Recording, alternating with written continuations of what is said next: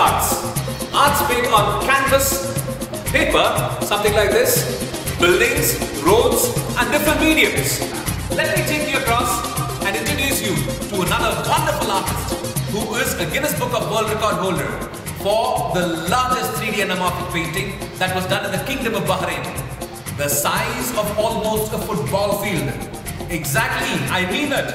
A size of a football field. The largest 3D anamorphic painting created by Limnesh Augustine, a good friend and an amazing artist. Let me ask Limnesh how his experience was, especially when it comes to trenticular painting.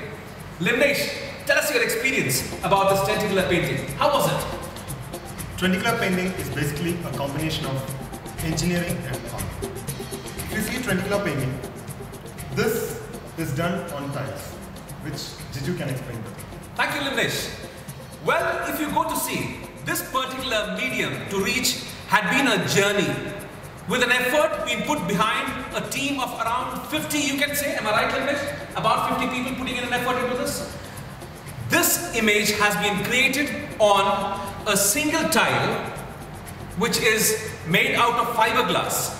Now, this is just not a tile. It is a piece of art and engineering, just like Limnesh said. This has a lot of mathematical calculations, lot of amazing pixelations being done, and what kind of technologies that I can think of. Lot of computation being put into, lot of brains being put into create three different images on a single medium. Unbelievable, right? We will surely take a look into it. This trenticular art is also patented. Yes, there has been an application made for the trenticular art to be patented. Am I right, Limnesh? This will be a unique art just for you. This particular trenticular art that we've seen is titled Trinity. Why Trinity?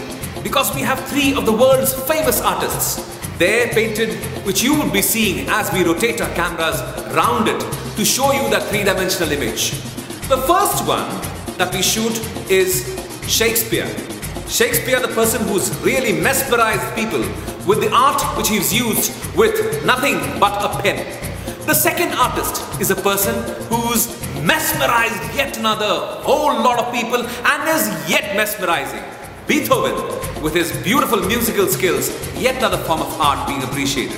The third artist who's used paint and used chisels and made the world wonder as to how colors can be brought together and mediums can be brought together and put forward to create art. Michelangelo the Great, who's come up with great paintings and lovely sculptures. I invite you to this beautiful art. Just sit back and relax and see this beautiful art called as the trenticular painting.